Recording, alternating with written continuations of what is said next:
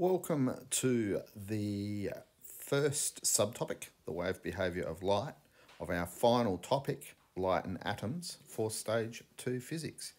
And in this first video, part A of this subtopic, we're going to look at electromagnetic waves. Now, electromagnetic waves are the UV radiation that causes a sunburn.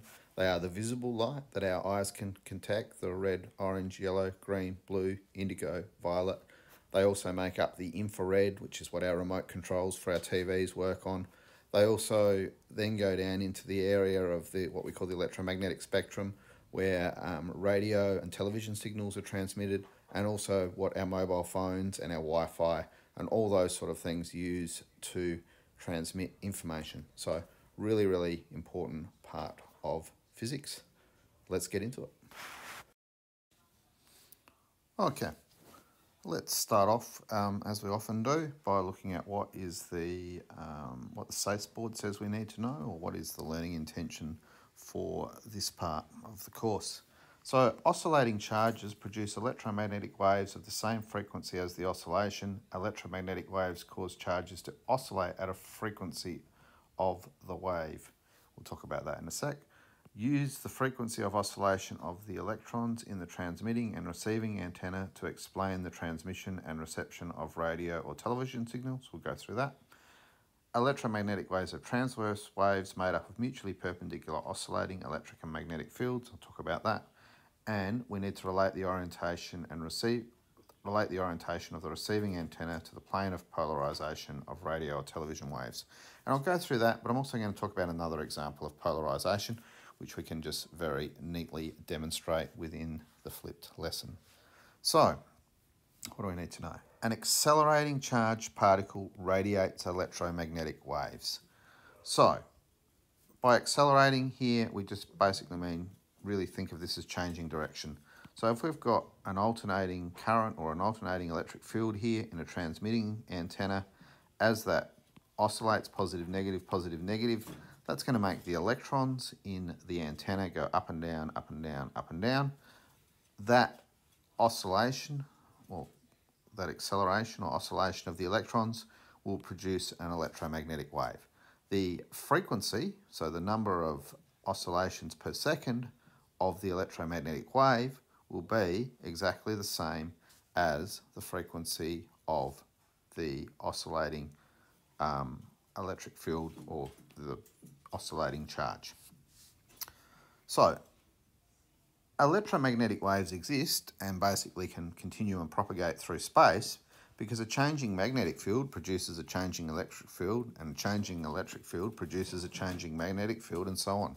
So we talked about in the last topic the idea of um, being able to generate um, magnetic fields through moving charges or through moving magnetic fields to be able to generate electric fields.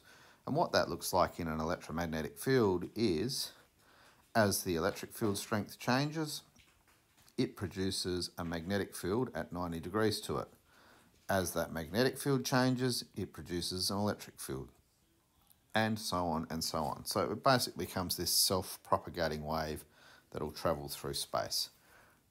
Elect an electromagnetic wave in a vacuum consists of oscillating, mutually perpendicular electric and magnetic fields. So that's basically just what I said, but noting that, and in the same way as it happens with um, in the previous topic, the electric field and the magnetic field are always perpendicular to each other.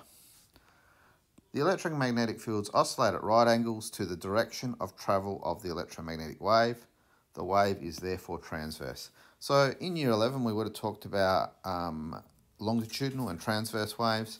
The key thing about a transverse waves is that the, we would say in, if it was a mechanical wave, we would say the particles vibrate at 90 degrees. So the electric and magnetic fields vibrate at 90 degrees to the direction that the wave front is traveling. Um, so it's it's not a it's a bit like the example of waves on the ocean. The the water goes up and down, if you like, and the energy transfer is transferred across the ocean at perpendicular to the direction of those water particles are vibrating. Strictly speaking, water waves are also partly longitudinal, but There's very easy to they're easiest to picture them just as um, as transverse waves. Now, the plane of polarization of an electromagnetic wave is the plane defined by the direction of travel of the oscillating electric field. So if we wanted to define the electric field here, we would, uh, if we wanted to define the plane of polarization here, it's the direction that the electric field is oscillating. And finally, the frequency of the radiated electromagnetic waves is the same as the frequency of oscillation of the source of charge. Sorry, I'd actually already said that. So whatever the frequency of this is, is the same frequency as the electromagnetic wave. So whatever the frequency of the oscillating charge is, the bit I wanted to add, which is what I thought that last point was going to say, is when this electromagnetic signal hits a receiving antenna, it will cause the electrons in this receiving antenna to oscillate with the same frequency as the electric field. Therefore, we will get a signal that basically is the same as that signal that originally generated that oscillating electric charge that generated the electromagnetic wave that when it strikes and receiving antenna um, generates an, an, an identical signal there. And then say if it's our radio, that our radio then converts this signal back into a sound wave that it plays through the speakers. So our transmitted signal from our transmitting antenna will be basically the same as our received signal at our receiving antenna. Now this PhET simulation here, very simple one, but gives you just a really good sort of picture of this sort of, a good understanding of this sort of picture here. And I highly recommend you go and have a look at that PhET simulation. So now I just want to talk a little bit more about polarization. Um, if generally we need our receiving antenna to be in the same polarization as our transmitting antenna. And if you just walk around wherever you live and visit some towns next to you, you'll be able to see this. If you have vertical polarization, and TV is the classic example, it sort of simulates a UHF TV antenna that you would see um, anywhere around Australia. Um, if you have a, those signals are generated vertically, then you need to have your receiving antenna vertically. If they're generated horizontally, then your receiving antenna needs to be horizontal. Now the reason that they use both is this minimises interference from areas that are close to each other. So if you're generating vertical signals, they could potentially interfere with other areas close by, but if they're in a horizontal, you're not going to get a very strong oscillation in the in the horizontal direction because these, um, yeah, the vertical one is going to have the signal going like that. So if the aerial is pointing at 90 degrees to that, you're not going to get um, a very strong signal picked up by that antenna. So I know in Tumby Bay, we have vertical orientation. If you go to Port Lincoln, I think they have horizontal orientation. And that's basically because those two towns are about 50 kilometres apart. And that just minimises the interference between the two signals. Um, the other way that you can look at that is, and think about polarization, is just through um, thinking about what happens with a pair of polarized sunglasses. It's a very similar phenomena, um, and I'm just going to put in now a really short, oh, a short video that explains polarization in terms of um, Polaroid filters or um, sunglasses as we commonly use them. Okay, let's play Now You See Me, Now You Don't. I have here two pair of Polaroid sunglasses, two pair of Polaroid sunglasses. If I hold one of those over the camera, basically they'll only let through, and let's just hypothetically say they're only going to let through the vertically polarized light. So you see it looks darker through the sunglasses because some of that light has been removed. Now if I bring in the second set of sunglasses and put over them, it's a little bit darker, but you can still see me because both of those lenses are letting through, let's just hypothetically say, the vertically polarized light. However, if I turn this one 90 degrees, now I disappear. And as you see, as I twist it back, I come back. And that's because if the first pair here are only letting through the vertically polarized light, This second pair are only going to let through now the, um, the horizontally polarized light and all the horizontally polarized light has been taken out. Only vertical is getting through the first lens. So that's why I basically disappear until we bring those back in the same orientation. So that just shows the polarization of light. Um, a similar thing happens with electromagnetic signals um, used to transmit um, television and other other um, information. So in this last bit of the electromagnetic waves video, we are going to look at the wave equation. I'm also briefly just going to talk about the electromagnetic spectrum, which isn't explicitly mentioned in the course, but I think is very important to understand. So, the speed of, oops, let me get my, the speed of a wave, its frequency and its wavelength are related through the formula V equals F lambda. We call this here the wave equation generally. Um, and it is a, an equation that you need to know and that we will use at um, a little bit this year. So when we talk about this, we're talking about the wave equation. Hopefully um, you are introduced to this in year 10 as well.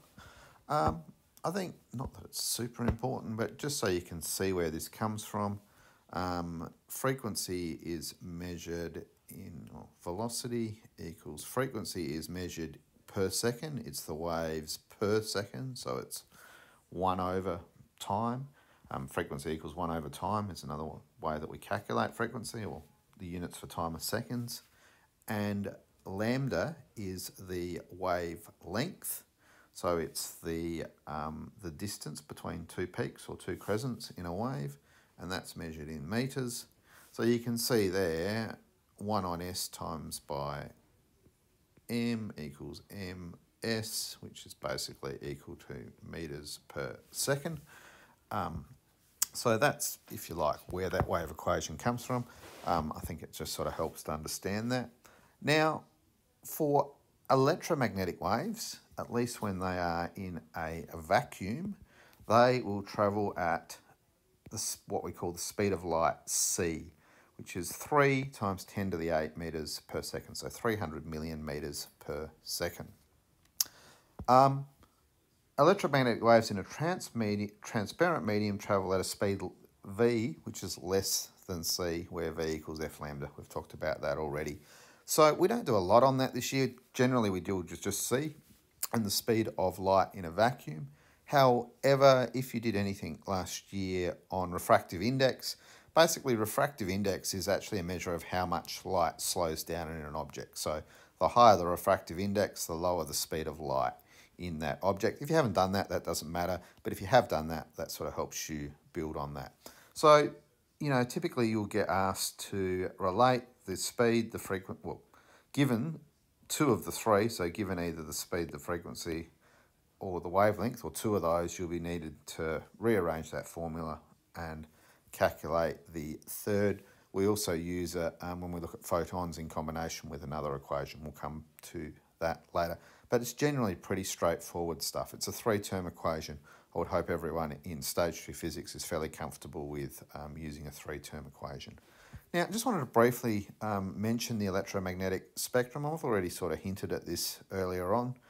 Um, basically, we can look at electromagnetic waves. And if we go this way, we have increasing energy.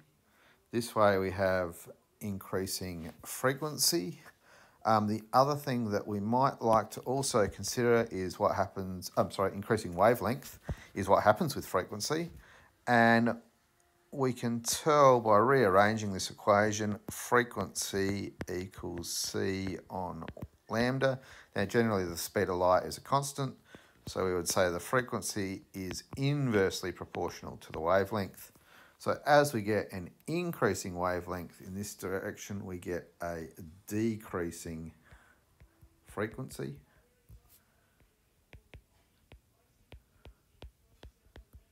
So that as we increase the wavelength, we decrease the frequency.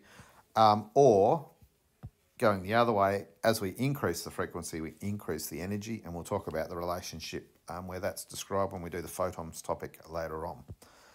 Um, in terms of our spectrum, as I hinted at in the, or as I talked briefly about in the in the introduction to this video, we have let's start at the low energy end. We have our AM and FM and our TV signals. We would also have uh, things like uh, Wi-Fi signals and all that. They are all fairly long wavelength, um, fairly um, yeah, uh,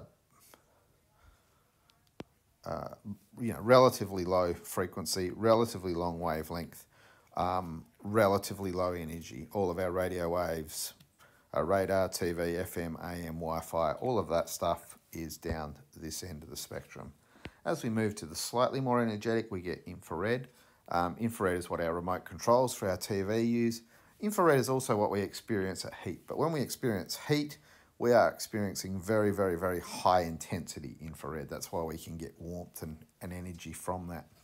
As we go past infrared, we get into the part of the spectrum that our eyes can detect. So this tiny little bit in here is what we call visible light. That's what our eyes can detect. And that goes through red, orange, yellow, green, blue, indigo, violet. Roy G Biv, you might remember, as we get increasing energy. When we get past the visible part, we get into the ultraviolet. That's the sort of radiation that causes sunburn. Um, so we helps us remember that's relatively high energy. If we go beyond ultraviolet, we get into X-rays. They have even more energy. They're able to penetrate through skin and tissue to, say, give images of our bones. And if we go beyond that, we get into the gamma rays, which are released by radioactive elements. We would have looked at those in stage one and some of the, hopefully, some of the, the dangers of dealing with um, radiation and that high energy radiation. Again, not a significant part of the course this year, but I think it's just good to put all that stuff into perspective to see where it fits overall. Thanks for watching.